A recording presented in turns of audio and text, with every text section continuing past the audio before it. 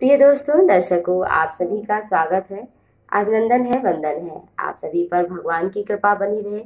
ऐसी शुभ और मंगल प्रार्थना के साथ आप सभी के सपनों का फल लेकर हाजिर हूँ। तो दोस्तों, आइए चलते हैं।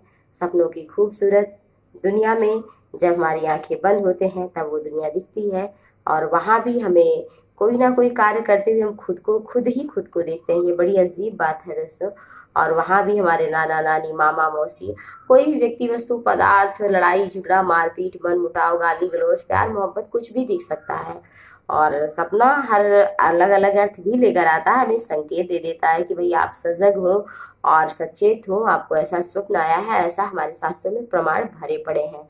तो चलिए स्वप्न शास्त्र के अनुसार स्वप्न में अगर आपने मिर्च देखा है, हरा तो उसका क्या अर्थ होता है, जान ले। दोस्तों, अगर आपने भी सपने हरा मिर्च देखा है तो स्वप्न शास्त्र के अनुसार अगर आपको मिर्च दिखा है वो भी किसी को खाते हुए तो ये अच्छा और शुभ संकेत है। लेकिन अगर ज़मीन पर आपने गिरी हुई, बिखरी हुई, टूटी फूटी हुई, किसी को लेते देते हुए तो दोस्तों ये आपके जीवन में किसी से जल्दी आपकी लड़ाई होने वाली है, ऐसा योग बन रहा है। तो आप अपने को संभालिए और किसी को ऐसे वचन मत बोलिए जिससे आपकी लड़ाई हो, मनमुटाव हो। क्योंकि इससे आपका दिमाग जो है वो अच्छा नहीं रहेगा और आपके कार्य आगे बन नहीं पाएँगे। तो दोस्तों मिर्च देखना शुभ और अशुभ दोनों ही होता है।